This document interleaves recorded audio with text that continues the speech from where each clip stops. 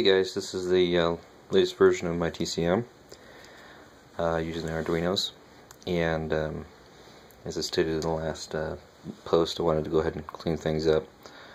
Um, didn't quite get to that but uh, you know such is such as the way things go.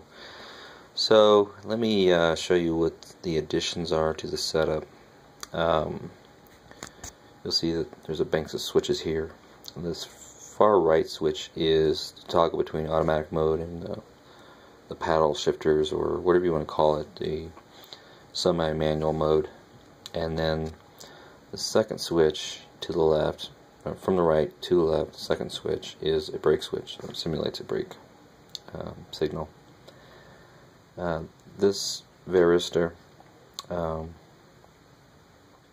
that's to simulate the map so based on vacuum, uh, shift the shift the transmission.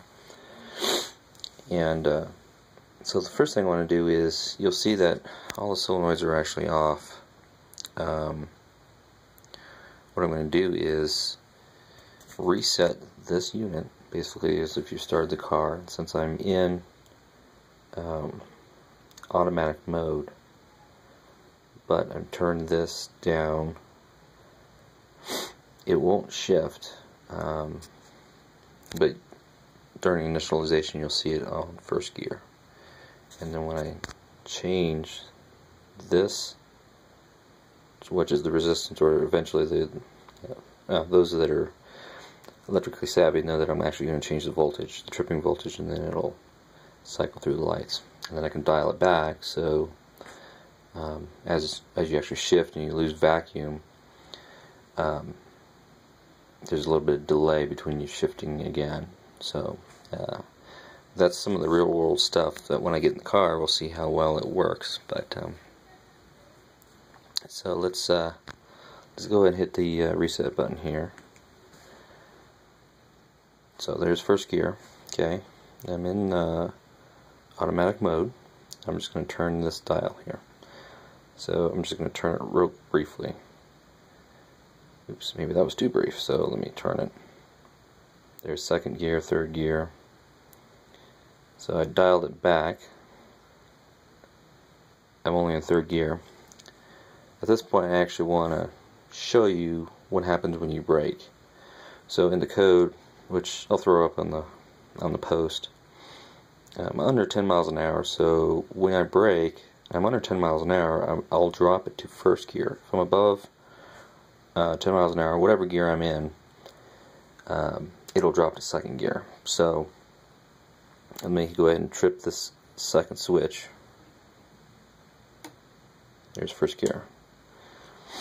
Um, and since I'm below the threshold here, it stays in first. So do this, shifting, shifting, shifting. I always say the TCC. And then if I brake, first gear. Shifting, shifting, TCC. Okay. Um, if I bring that miles per hour up, oops, wrong direction, up above 10, and I brake, so second switch, only second gear. So, again, the, the tripping point uh, is 10 miles an hour. Um, you just rarely use first gear unless you're wide open throttle from a dead stop. Uh, first gear is really to get the car rolling, and you should normally be in second gear. And second gear for this transmission is the uh, limp mode of the transmission. So, um, I bring this dial back, and I turn the switch off. I'm going to go back into just my push button normal operation that I've used or currently implemented some time ago.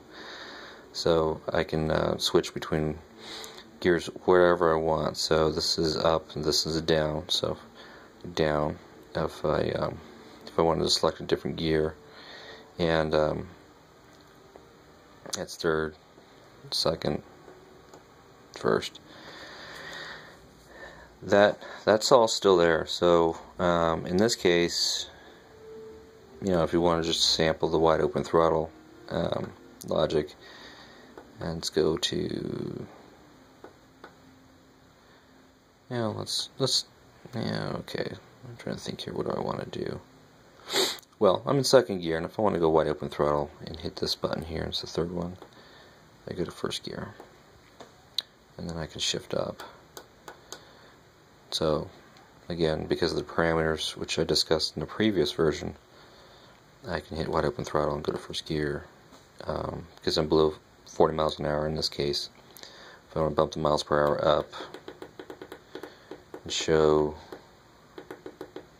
oops, miles per hour. I am not good at making these videos. Um, get that miles per hour up.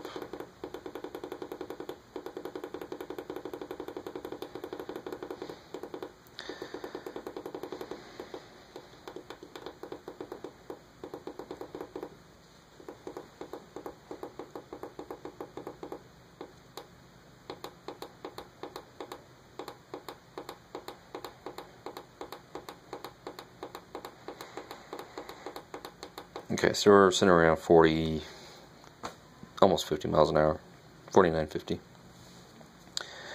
Um, go ahead and shift up to fourth gear with TCC on gauge.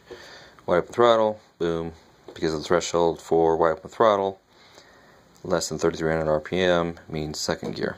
So um, that gives you the opportunity to downshift, either to pass somebody or um, in a case of a race or whatever you're trying to do, uh, let that engine um, get the RPM up. So that logic is all still there. It's kind of neat. And the same thing will happen if I flip this back to automatic and um, I let shift to at least four, oh, okay, I was too fast there. Fourth gear, and then I want to go uh, wide open. So again above 10 miles an hour. Oh forgive me that was braking but for wide open for 40 miles an hour above uh, I drop it to second which is all these lights off. So uh, I showed you braking earlier that's wide open that logic's the same whether uh, I'm in automatic mode or uh, the manual push button mode with these guys so um, that's pretty much it. I mean, there's a lot of permutations I've gone through, which would make this video really long, and it seems that uh, this video tends to be a little longer and takes a lot longer to upload um, than I want it to, but uh, maybe someday I can become more proficient at creating these videos. So if you guys have any questions, just let me know. Uh, or you want me to demo any other um, sequences, I can certainly do that. Um, so we got the automatic mode using the map that was simulated by that. Um, and then this far right switch was used for toggling in and out of manual mode.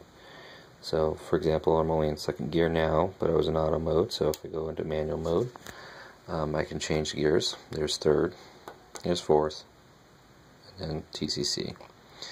Um, back down to first. The second switch here was used for braking.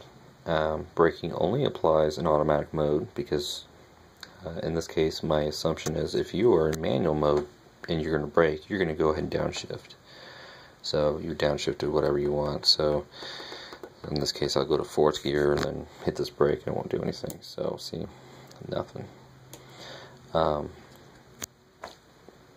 and then we talked about wide open throttle and uh, the parameters for that. And you see the other videos for uh, the logic when that was implemented. And then if you look at the code for this latest version you'll see that all that's still in there. It may be a little bit organized because uh, I did take some time to clean it up but um, I'm not going to run through all that.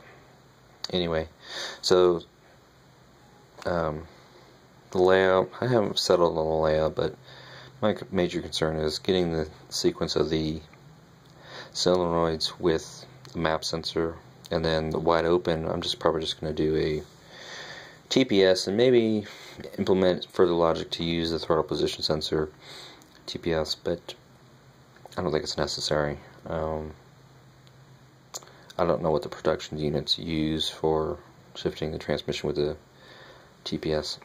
I, I don't know. I think it's probably good enough. It's much more advanced than the current unit, which was strictly push buttons to sequence the uh, the lights. So, yep, that's pretty much it. Um,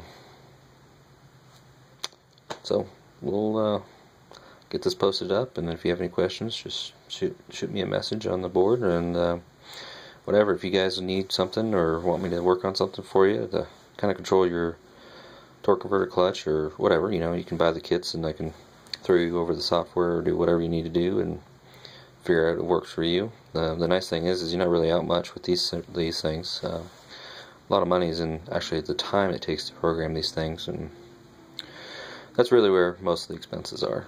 But um, hardware is pretty cheap, so uh, I think the next iteration I'm going to do is just uh, put it in a box, literally, and uh, put it in the car and start testing it. So that should be fun. All right, thanks.